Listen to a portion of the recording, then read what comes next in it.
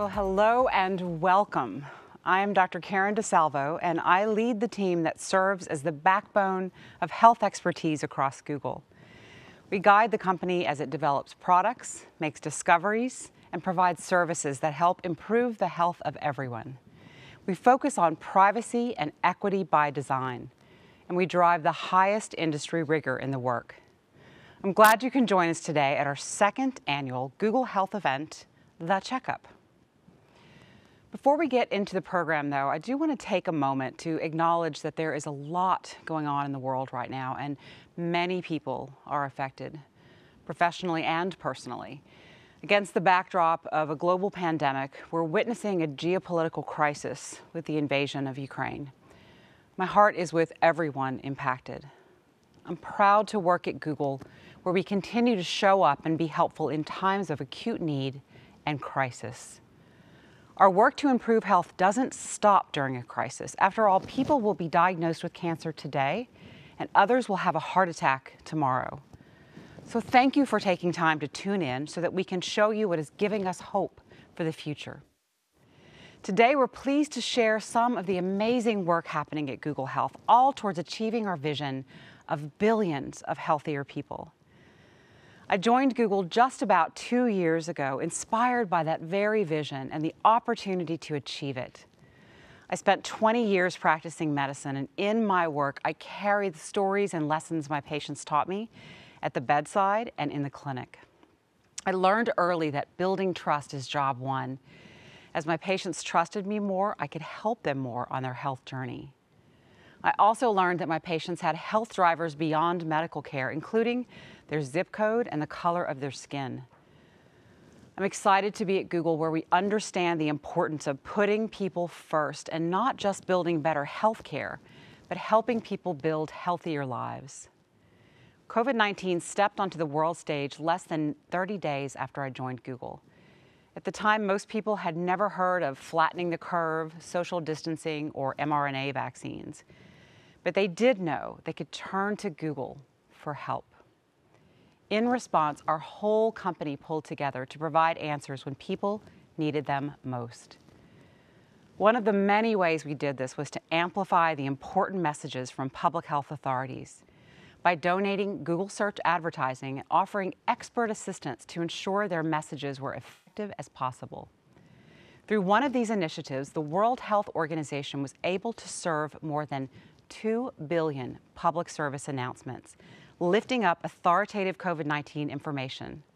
The reach still astounds me. Today, we find ourselves entering a third year of the pandemic, and I'm inspired by the resilience I've witnessed. And I'm hopeful for 2022 as we return to a new normal.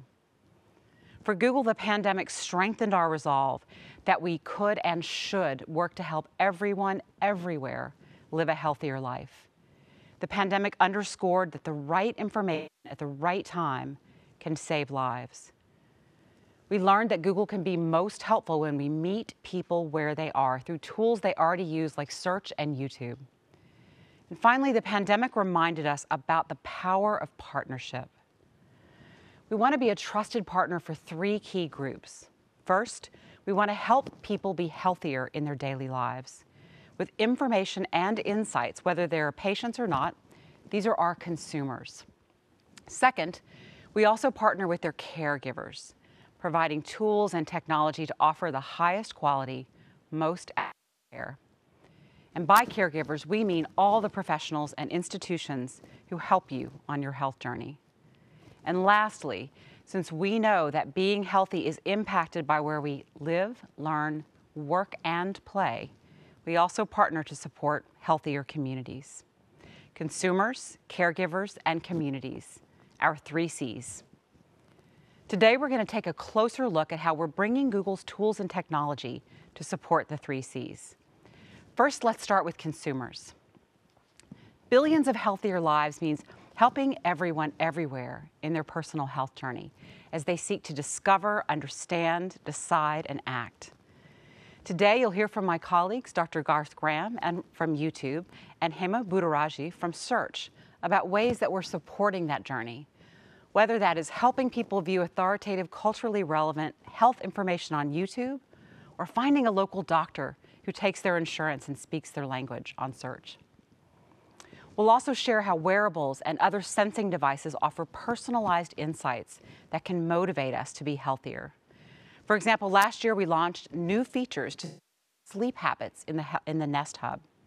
And just over a year ago, we welcomed Fitbit, a team that trailblazed a new category for health and well-being.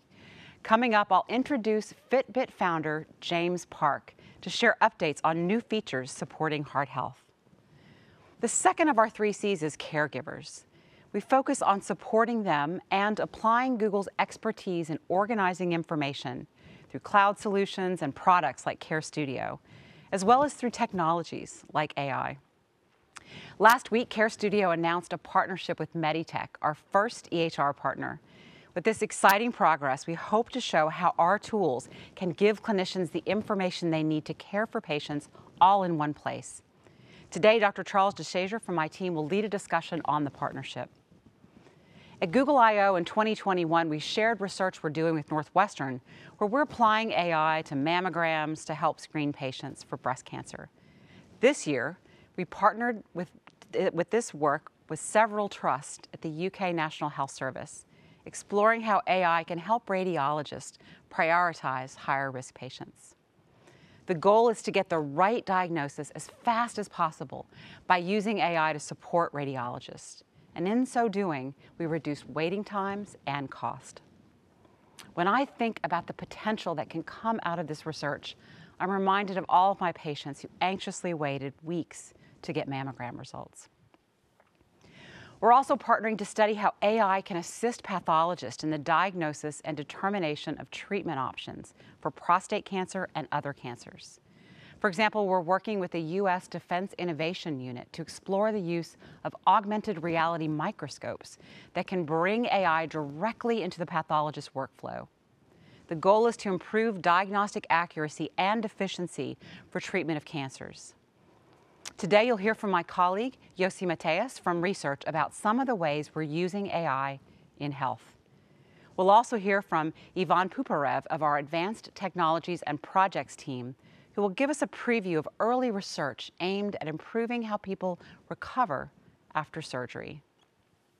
The final category in our three C's, community. We know that health is driven by more than healthcare, so we have to support healthy communities. We help people find resources like healthy food, greens, and we're looking at the impact of climate on health. Building tools for some of the population isn't good enough. We cannot leave anyone behind. That requires us to build tools that are helpful in any community, anywhere. You'll hear from Googler Katherine Chou and from Garrett Mehl, our partner from the WHO, about new open source software initiative. Together, we aim to help developers build interoperable and secure applications for community health workers serving patients in low and middle income countries. We'll also give you an early look at something else we're working on, gender equity. We believe technology can close gaps, including how women of color and those from underserved communities access and experience healthcare services, like maternal health, We'll hear from Googler Dr. Ivor Horn, who will introduce an equity-focused research initiative that we're kicking off. She will also share a conversation with Dr. Lashay Ajayi at Scripps about the Fitbit-funded Power Mom study. So lots to cover as we share our work to partner with consumers, caregivers, and communities. So now, without further ado, I'm delighted to welcome my colleague, James Park, to get us started.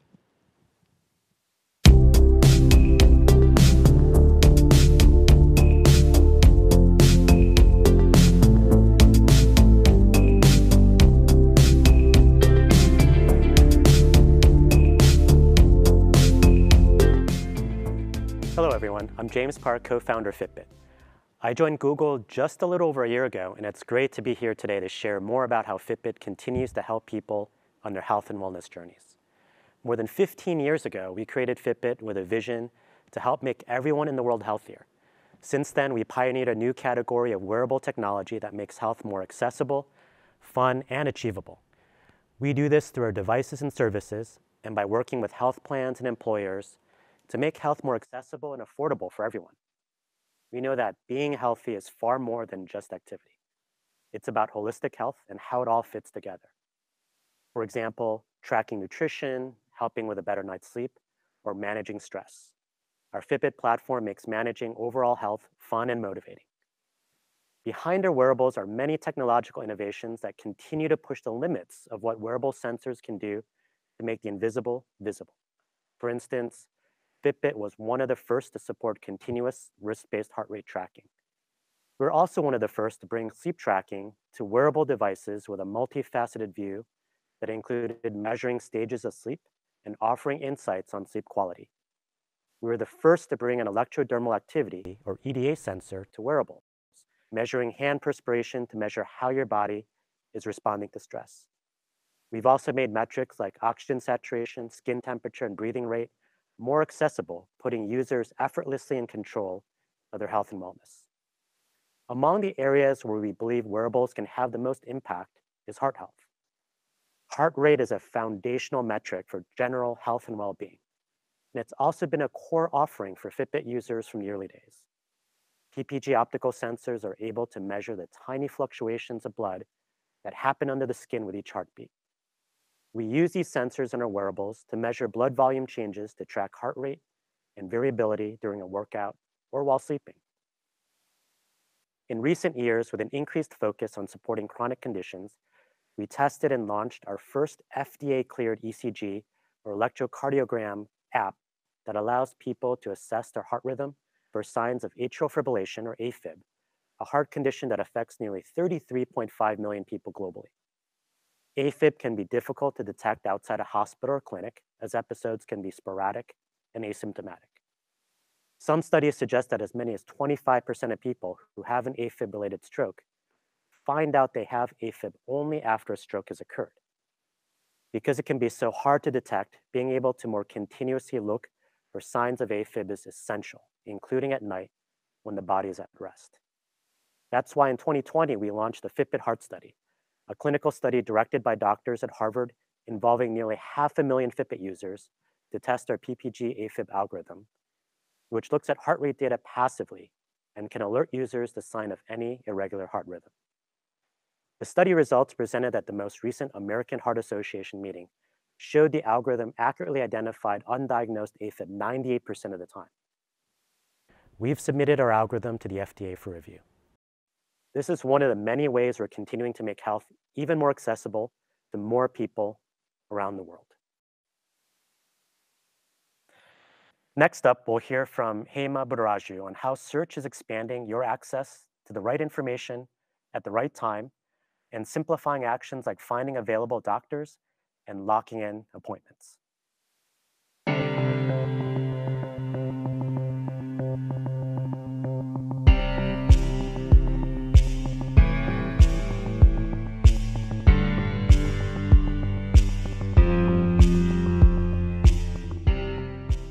Hi, everyone. I'm Hema, and I lead our health work on Google Search. No matter where we live in the world or how old or young we are, one thing holds true for all of us. Health is a universal need.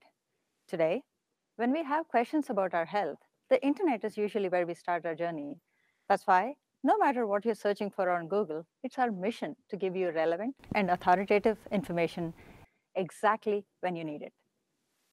COVID 19 has shown how important it is to access timely health information from trusted national and local health authorities. Billions of people from more than 200 countries in dozens of languages have accessed information about COVID on Google. That's why we continue to expand our search experience, including things like news, statistics, trends of the pandemic, and information on how to access testing and vaccines to protect yourselves and your loved ones. COVID testing remains a critical need for all of us. On Google Search and Maps, you can easily find details on tens of thousands of testing sites worldwide. In addition, vaccines are one of the most important tools to fight COVID.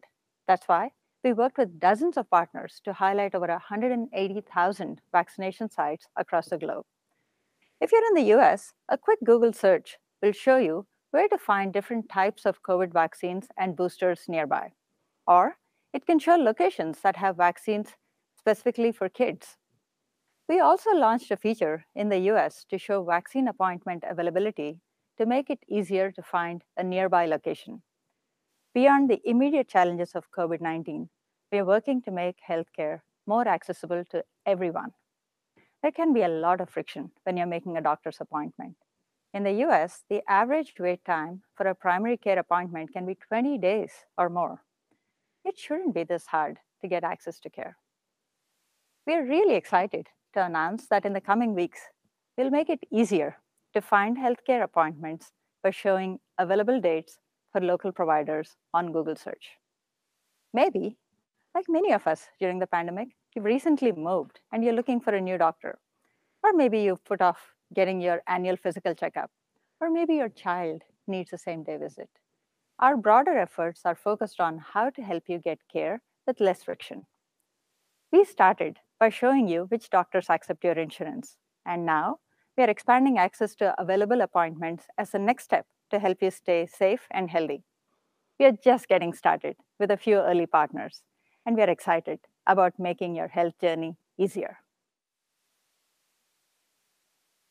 Now, I'd like you to introduce to my colleague, Dr. Garth Graham, to tell you about what we are doing with high quality health information on YouTube.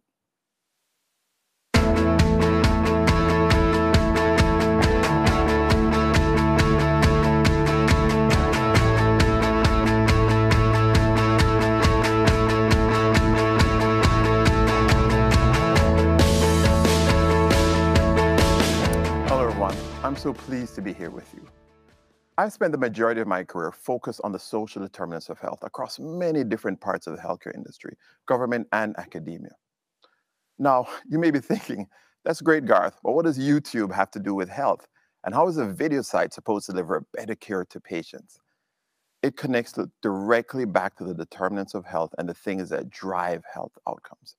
There are reams of literature looking at the impact of housing policy, food insecurity, and racial equity on health outcomes. But there's another area that we need to start focusing on, and that is information as a determinant of health.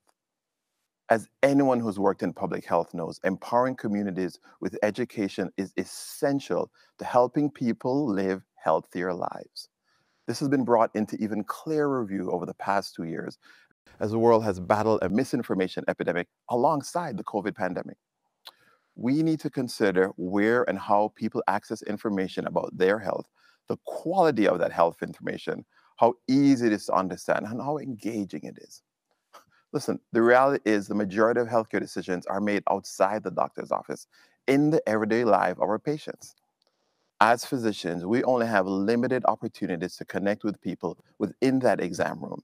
And how can we better show up at many more points within a patient's day, bringing health information into their lives through the spaces they already visit? YouTube is already a part of a patient's journey. When they turn to us for answers to their health questions or look for a community who understands what they're experiencing or find helpful, eh, helpful videos to explain complicated medical information more easily, health education can come in many forms. And we've just seen firsthand how powerful video can be used as a medium to reach people with health messages. That's why the mission for YouTube Health is to provide equitable access to highly authoritative health information that is evidence based and culturally relevant as well as engaging. This approach also further reinforces our ongoing efforts to tackle the very serious issue of medical misinformation we want to make sure that people are finding information from evidence-based authoritative sources, and that information is easy to understand and connects with them in a personal, engaging way. We're doing this with a focus on two key areas, information quality and information equity. First, let's talk about quality. In the past year, we've launched new features, kicked off new partnerships, and worked with experts in the field to help build foundations upon which we can greatly scale our work in health in 2022. We continue to expand our work with leading health organizations like Mass General Brigham and public health leaders like the American Public Health Association, as well as with clinicians and creators. Our goal is to further increase the accessibility of high quality health content on our platform. Listen, These organizations are creating engaging evidence-based videos that really connect with people. In addition to increasing the volume of highly authoritative content in YouTube, we're working to increase the way people find it and raise up its discoverability to ensure people can find these sources easily when they come to YouTube. To do that, we've added health source information panels on videos to provide context to help viewers identify videos from authoritative sources. And we've also introduced health content shelves that highlight videos from these sources when you search for specific important health topics on YouTube. These context cues aim to help people more easily navigate and evaluate credible health information. Starting just this week, users in Brazil, India, and Japan will also see these new features while searching on YouTube for top health conditions. As part of this effort, we've partnered with the World Health Organization and the National Academy of Medicine on principles for evaluating authoritative health sources. We've also worked closely with regional health authorities while doing this. We're excited these features are rolling out to more people and plan to reach additional communities across the globe later this year. The second key I mentioned that we're focused on is information equity. If we all agree information is a determinant of health, meaning that it drives healthcare decisions, then we must consider how that information gets to people. Health leaders have a responsibility to keep pace with the changes in where and how people find information we must meet people where they are and connect with them in ways that are not only scientifically accurate, but also culturally relevant and engaging. Through video, we can provide free and equitable access to the best and brightest thinking in science and medicine, and we can make it engaging, interesting, and compelling to watch. We can become part of people's lives and reach them in the moments that matter. More and more leaders are taking up that challenge. I'd like to share a couple examples with you guys. The first is a New England Journal of Medicine. As many of you already know, the New England Journal of Medicine is not only recognized for publishing practice-changing medical research, it's also become a cornerstone in providing equitable access to information for many years by allowing online access to readers in the world's least developed countries. New England Journal of Medicine has just taken a new step forward in providing access to the best minds in medicine by launching a new channel on YouTube. They're creating short summaries of key findings from their latest articles, along with interviews and animations to provide the best and newest medical research from the journal and make it available at no additional cost to audiences around the world. YouTube Health also has experts making the most of digital video to support public health education efforts. The American Academy of Pediatrics has used YouTube creatively to reach younger audience. One particular project, they created short form videos called YouTube Shorts to connect with young women, girls, and gender expansive people about key topics related to their health, such as menstruation and consent. The AAP has launched a video series to empower parents with the information they need to make decisions about their child's immunizations.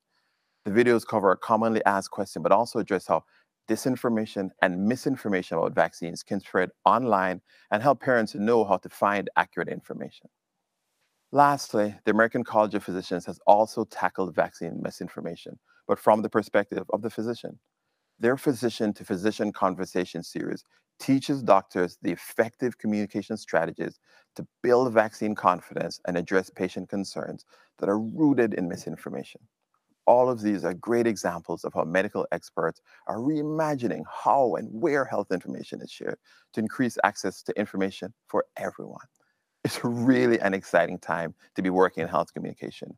We have more tools available to help people than ever before the scale and reach of platforms like YouTube can radically increase equity of access to high quality health information by breaking down barriers between the ivory towers of academia and the everyday people who want to understand how to take better care of themselves and their families. There's always more work to be done, and we hope to make a difference through our focus on information quality and equity. Of course, the whole world still needs better access to healthcare. Yossi is here to talk about how we're using technology to expand access and the important role your smartphone will play in things like screening and affordable care.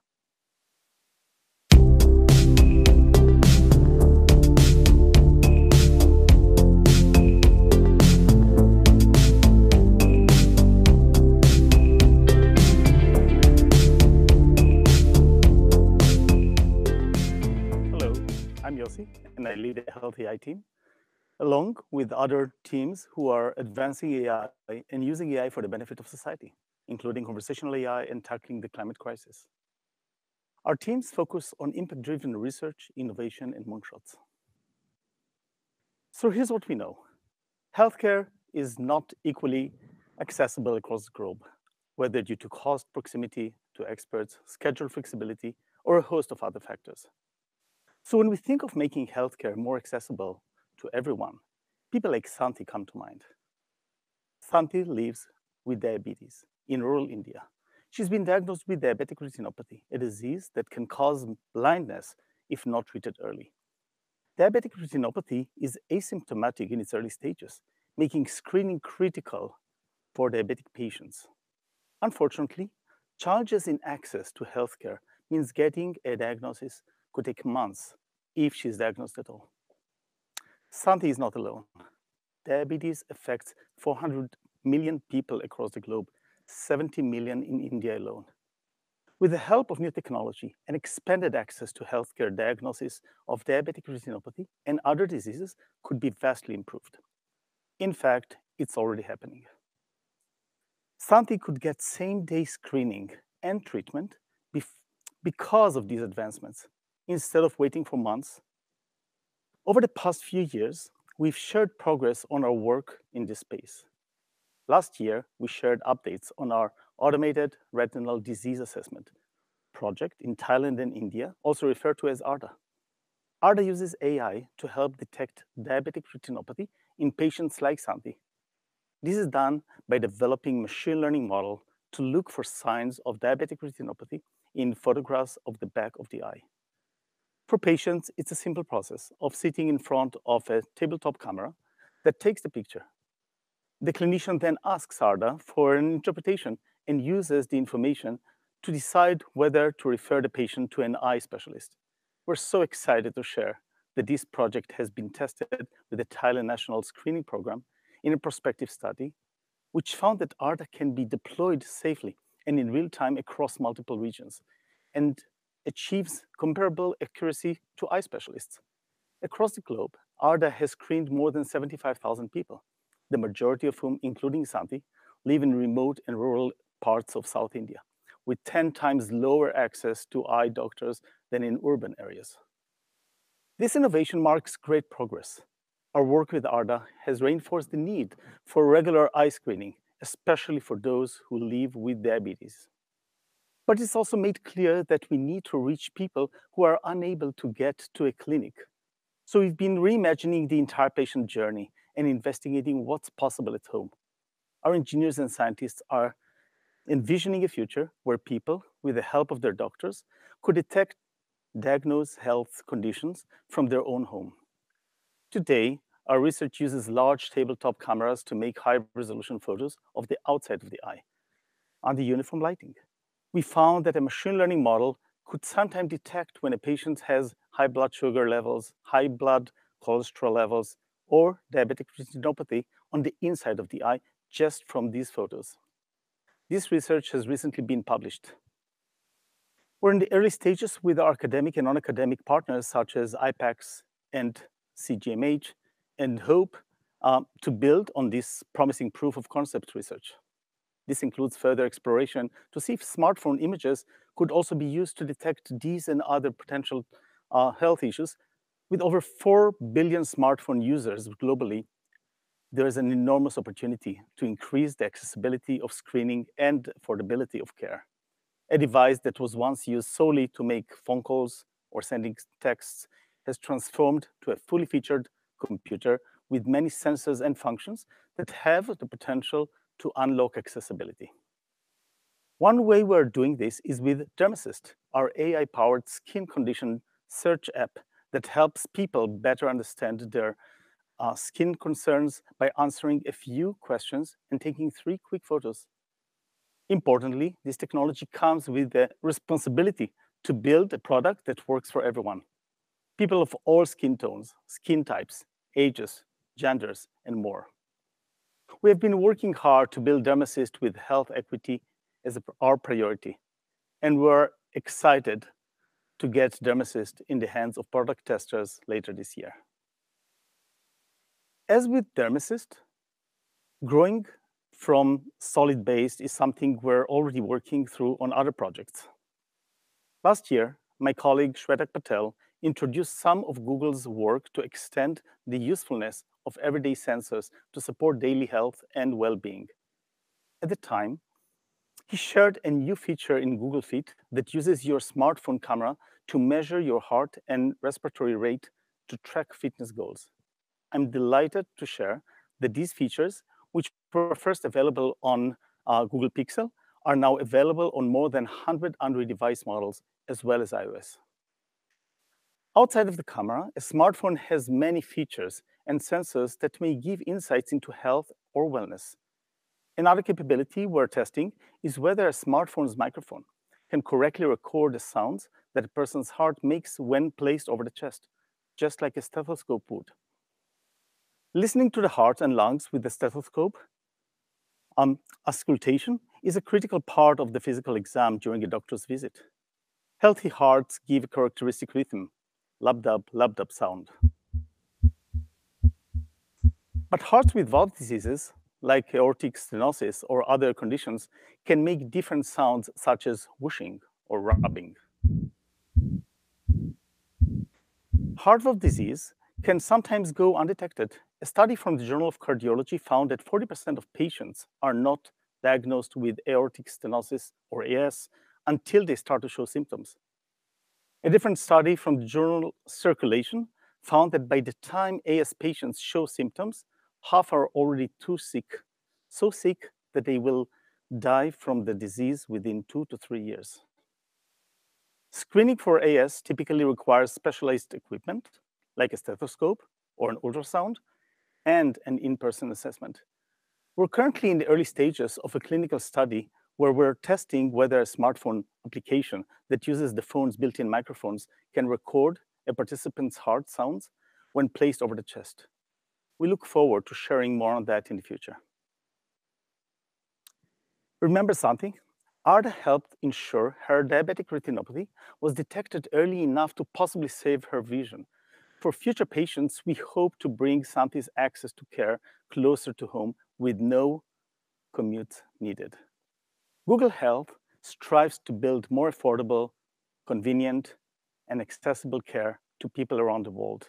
We can't wait to share all of these groundbreaking developments in the technology with you. Next, we'll show you what Google's Advanced Technology and Projects team is working on with UCSF researchers. Together, they're using AI and affordable consumer electronics to monitor knee replacement recovery and create a future where surgery recovery can be continually and accurately measured outside of medical labs.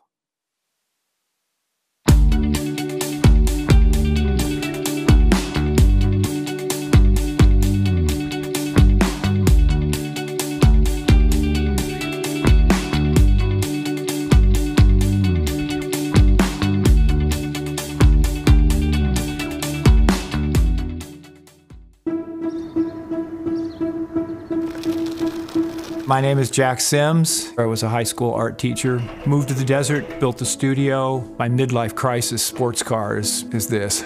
First sort of documented damage to my knee was in middle school, and I developed the disease of the growing end of the bone. So that, coupled with just being very active in sports, my left knee started acting up.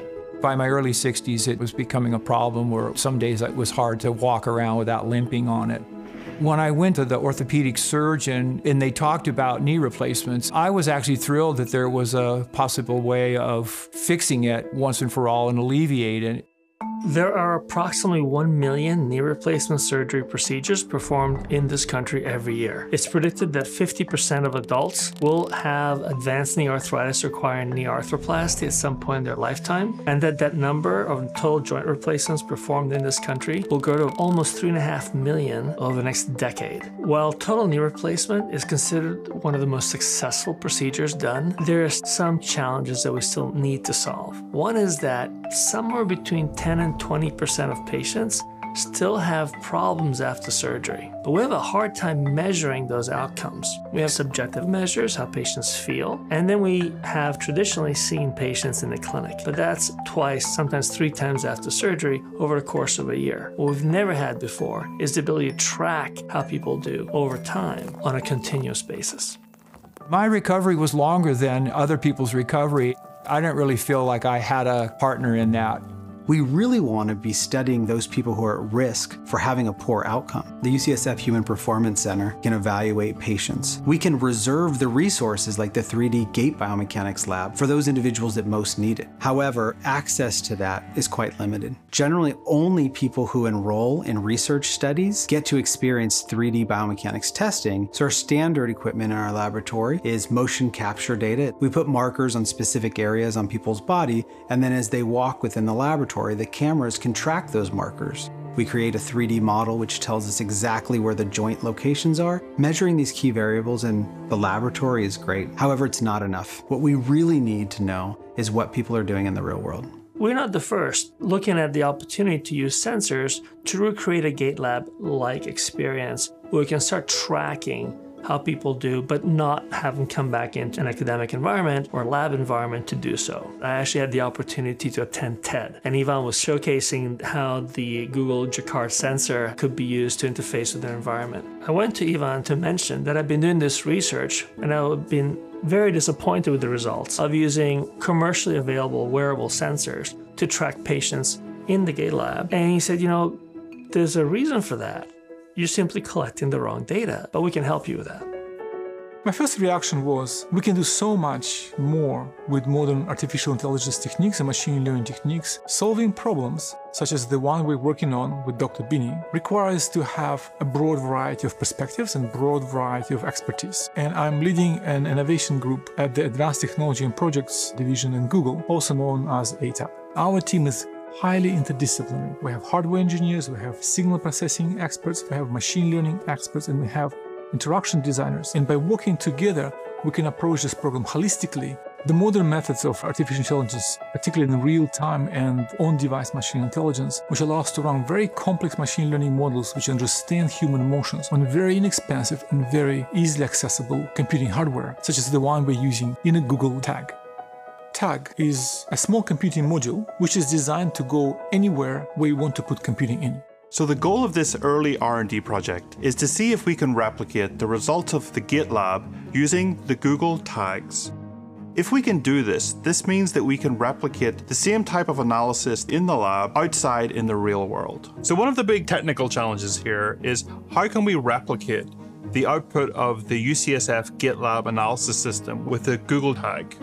So to achieve that, we use our custom neural network architecture. This allows us to take our raw time series data and actually be able to estimate directly from this in blue what the knee angular velocity could be.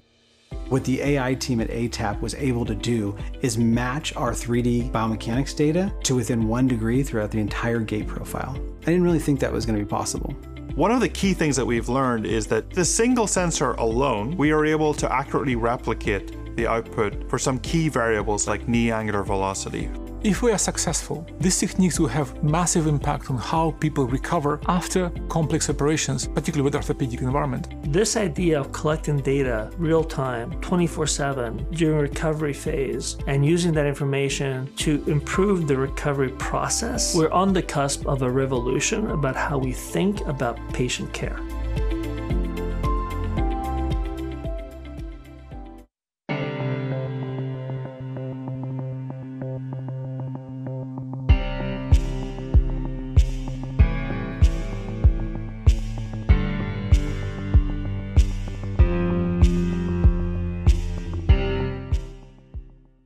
Hi, my name is Dr. Charles DeShazer. I'm an internist by training and the director of clinical products at Google.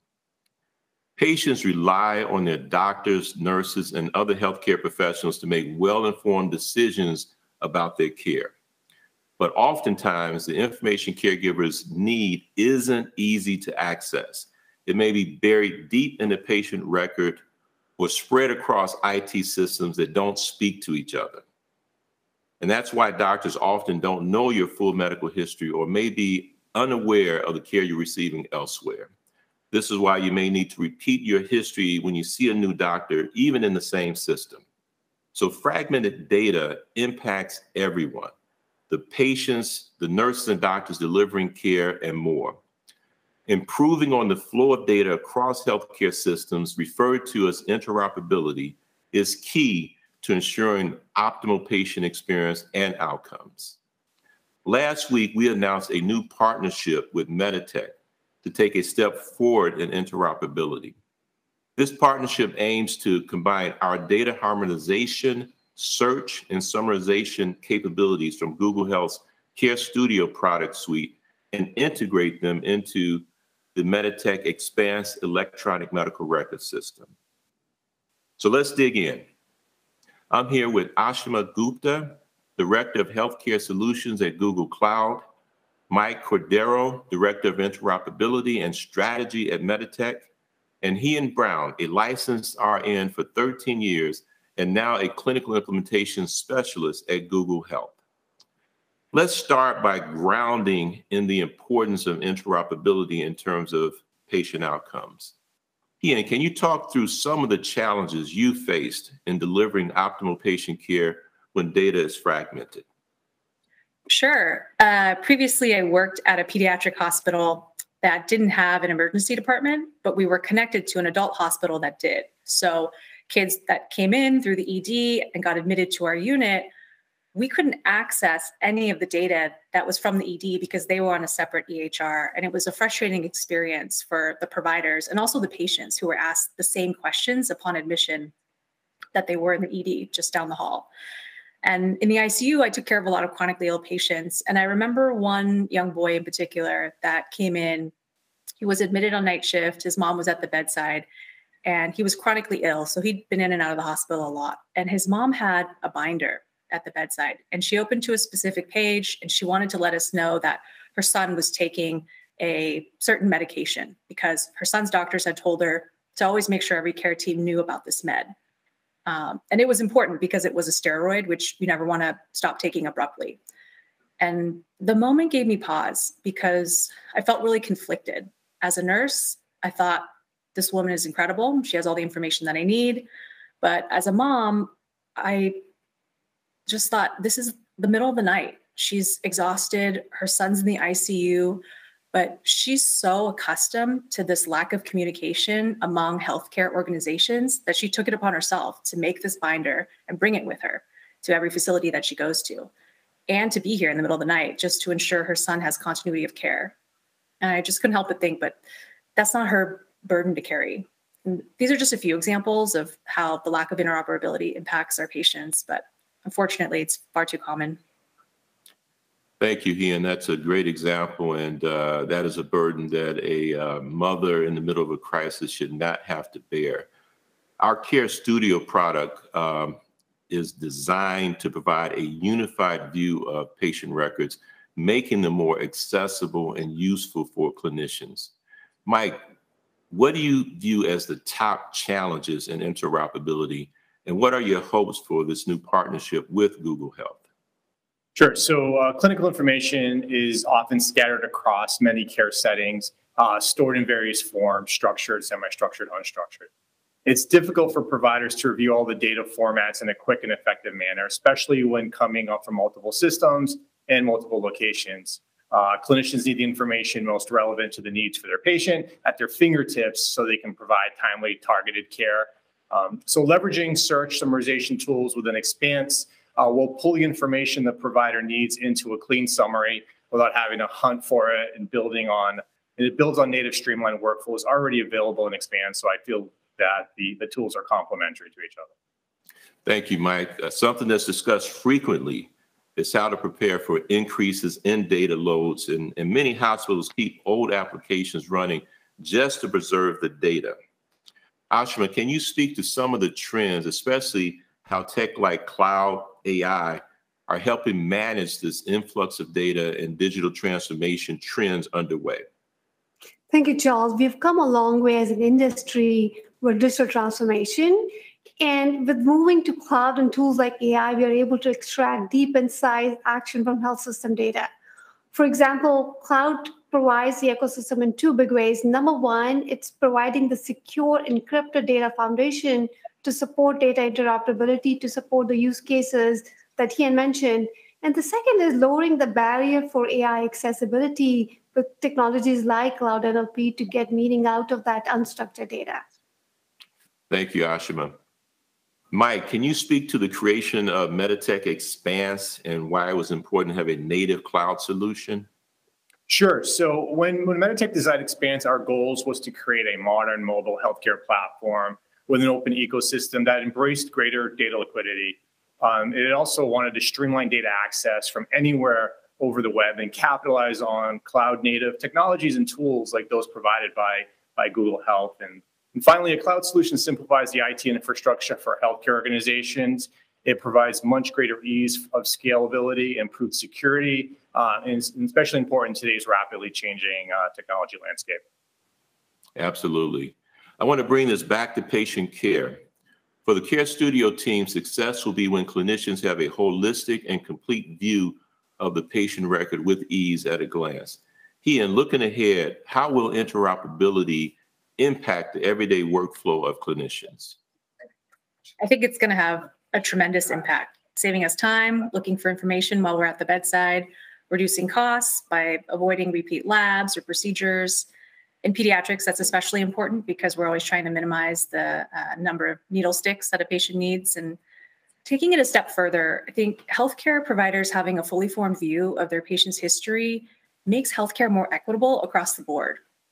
It takes the burden off the patient and their families and helps ensure everyone gets the care that they need, independent of their ability to recall all the details of their medical history. They've got enough to worry about. Absolutely. Thank you, Hien, and thank you all. Thank of all of our panelists for joining the discussion. Next, learn how our partnership with the World Health Organization and Android developers is helping healthcare workers worldwide access and share information, empowering them to make more informed patient care decisions. Thank you.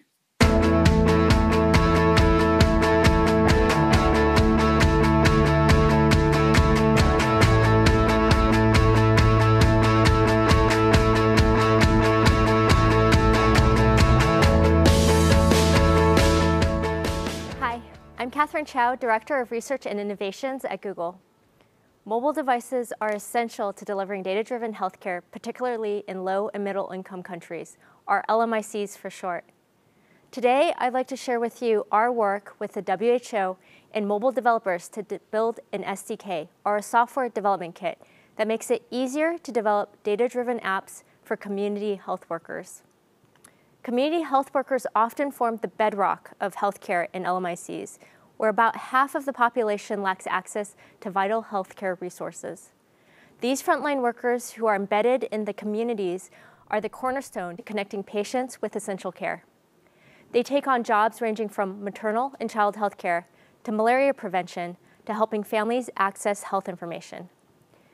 Over the past few years, smartphones and mobile apps have become invaluable care tools for community health workers. They support community outreach and home health services, including triaging patients by accessing immunization and care records, conducting health screenings, and distributing medications. Today, community health workers have these services at their fingertips, helping them deliver accurate and timely evidence-based care.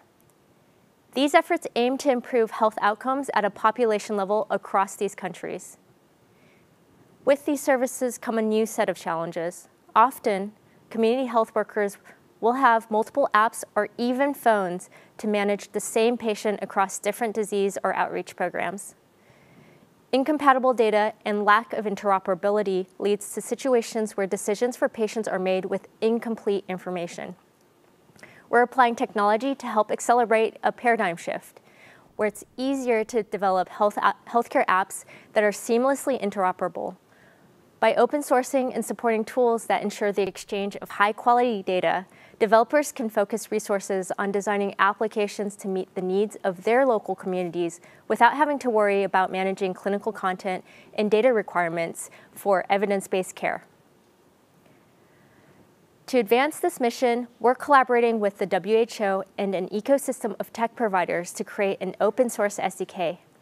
This SDK will help developers build secure mobile solutions using a patient-centered global data standard called FHIR, also known as Fast Healthcare Interoperability Resources.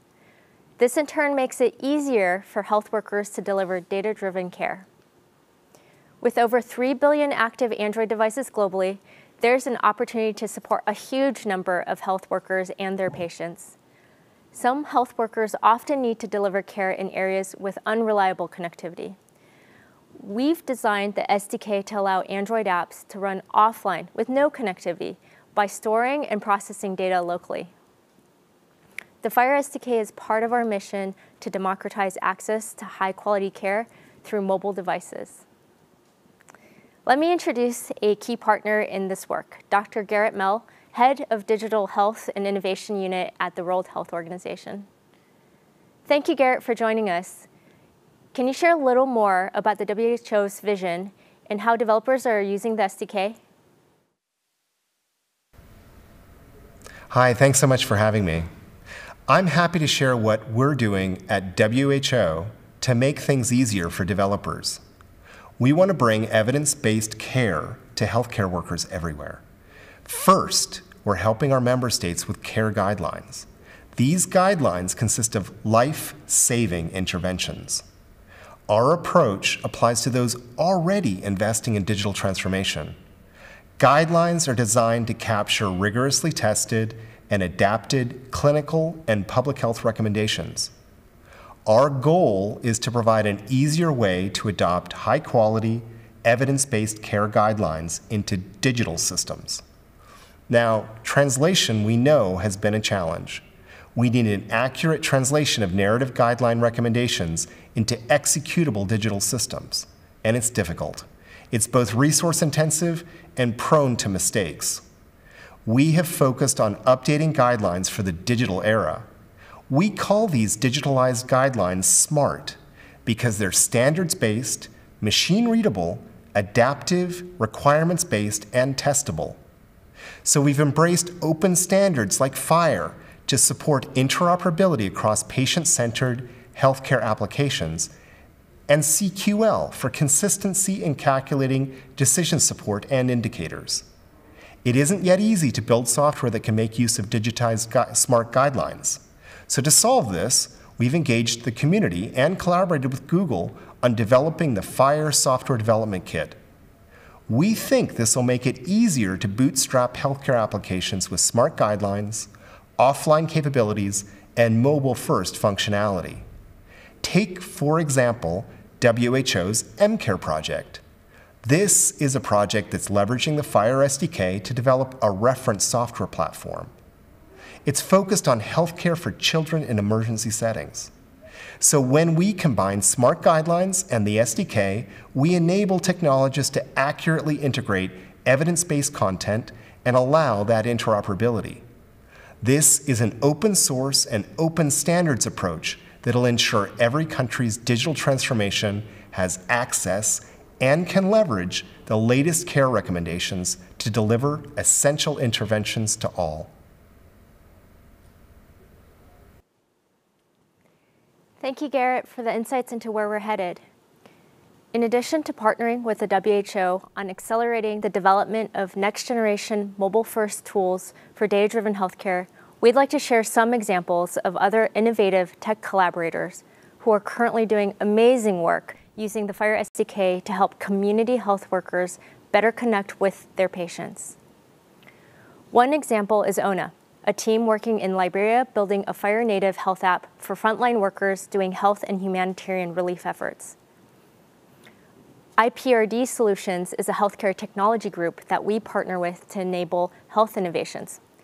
This partnership helped over 2,000 community health workers allocate malaria prevention nets to more than 700,000 people in Nigeria. And finally, Lattice Innovations, a health tech solutions company based in India, is joining the state of Tamil Nadu's Population Health Registry Consortium. They're building a community led health screening and primary care mobile application that will help fulfill the state's vision to provide data-driven healthcare for all.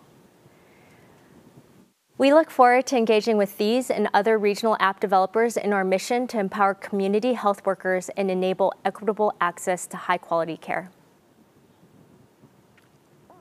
We've spoken today about the remarkable partnerships and the incredible progress we've been able to make together.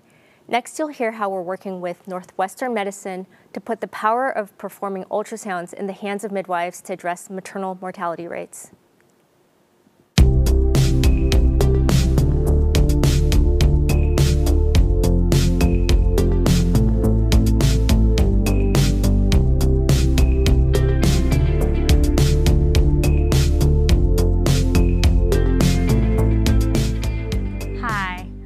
I'm Ivor Horn, and I lead Google's health equity efforts. You've just heard about some amazing innovations in healthcare. But even with all these advancements, women around the globe still die during childbirth, and in high numbers. 300,000 maternal deaths and 2.5 million perinatal deaths occur each year, with an astounding 94% happening in lower and middle income countries uneven access to care can lead to unnecessary harm to birthing parents and their babies. Early ultrasound screening is a safe and effective method to plan for pregnancy care and identify issues early. The WHO recommends an ultrasound assessment before 24 weeks of pregnancy. This helps to assess the health of the birthing parent and baby, plan the pregnancy journey, and monitor for early risks and complications ultrasound technology is becoming more portable and more affordable. Yet, up to half of all birthing parents in developing countries are not screened at all while pregnant. Among the barriers to access is a shortage of expertise in reading ultrasounds. Our goal is to simplify barriers to acquiring and interpreting ultrasounds. How do we do that? By supporting more people like midwives and community health workers to provide care. Imagine anyone, anywhere, being able to perform accurate ultrasounds with just a small handheld probe and a smartphone. Throughout the past year, we've been researching the use of AI to assist with maternal health diagnostics we will soon publish foundational, open access research that validates the use of AI to help providers conduct ultrasounds and perform assessments. Our hope is that this work and work to come will increase access to ultrasound and improve experiences for birthing parents and their babies. That's why we're working closely with Northwestern Medicine on further developing and testing these models to be more generalizable across different levels of experience and different technologies. We launched this partnership with the goal of cutting global maternal mortality rates in half. The goal, we aim to accelerate research and development in two key areas, identifying high-risk patients during pregnancy more quickly and reliably, and building tools to allow broader, a broader range of professionals to confidently provide access to these assessments around the world. Together, this research can potentially drive automated and accurate AI evaluations of maternal and fetal health risk. It can also address barriers to scaling programs, enabling timely care in the right settings. To scale this technology and reach the many patients and providers globally, partnerships will be critical. We'll be working with healthcare organizations and local champions to develop novel technologies and get the technology into the right models of care to reach patients. We're thrilled to work with Northwestern Medicine on these early stages of development. Together, we're making continuous improvements toward increasing access to care for everyone, everywhere. Part of that is, develop, is helping researchers with their work on maternal health. Dr. Lejay Ajayi is the Director of Diversity Initiatives and Clinical Researcher in Digital Medicine at Scripps Research, and you'll hear from her next. She's also an awardee of the Fitbit Health Equity Research Initiative, a program aimed at supporting researchers working to address health disparities. She's the principal investigator of PowerMom, a smartphone app-based research study that enables pregnant parents to share data about their pregnancies with scientists. This story is an important example of Google's efforts to make healthcare more equitable. Dr. Ajayi is focusing on how PowerMom can help underrepresented birthing parents who are more likely to during and immediately after childbirth in the US compared to their white counterparts. I am so excited for you to hear more about her incredible work.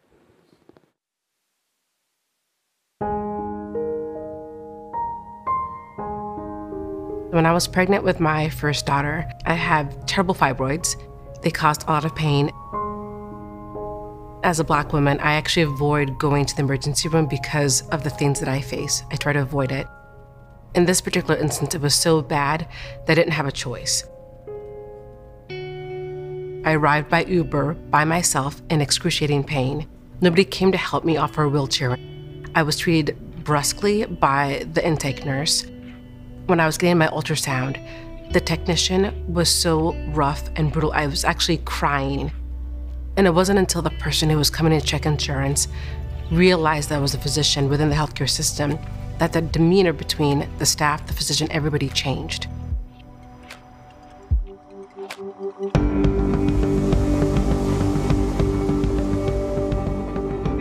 The problem facing Black and Hispanic people, it falls into two really big categories. It's the lack of access, and then how we access the medical system in general. Black women are more than three times likely to die in childbirth or immediately after childbirth than their white counterparts. Black babies, again, more than two times more likely to die than their white counterparts. We're more likely to have gestational diabetes, preeclampsia, and die from those complications. But why is that? It's about Black and Hispanic women not feeling heard or seen with the medical system. It's important to me because it's healthcare, and it's something that we should all be able to access no matter what you look like. PowerMom First is a study from the PowerMom platform it stands for Fighting Inequity and Racism Using Supportive Technology. We work with Fitbit to actually look at structural and systemic racism throughout the pregnancy journey.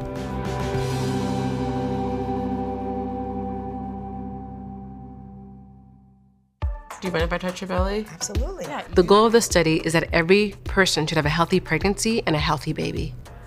The data that we'll be able to collect with Fitbit is 24 7 heart rate, heart rate variability, oxygen saturation, body weight, sleep, sleep stage, and activity. It looks like I've been averaging about seven hours a night. That's actually pretty good. And then we'll look at outcomes of your pregnancy. Were you someone who went into preterm labor? Did you have high blood pressure, hypertension, increased weight gain, whatever, during your pregnancy? That allows us to collect this objective data with the subjective information that they're providing to us. And it correlates with the questions that we ask them throughout the study we ask them about everyday discrimination. We ask about vigilance. We ask about how they're perceived in their everyday lives. So, are you able to find time to exercise at all? You know, I've been doing better with that. What I appreciate about Fitbit and this initiative is it allows me to give these devices to people who may not have access to it. It allows people who don't traditionally participate in research to give their voice, share that information so that we can be more informed. And by having a more diverse, informative database, you're actually able to break down health disparities.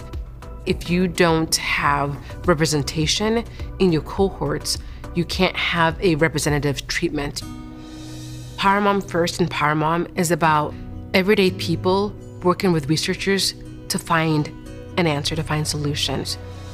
We can't fight systemic racism without the people experiencing it, without their input, without their feedback, without their information.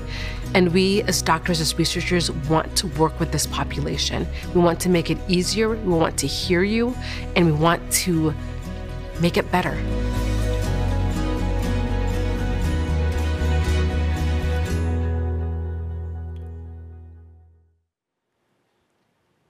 I want to thank Dr. Ajayi for sharing more about her personal story and her incredibly important work advancing equitable health research and more equitable health.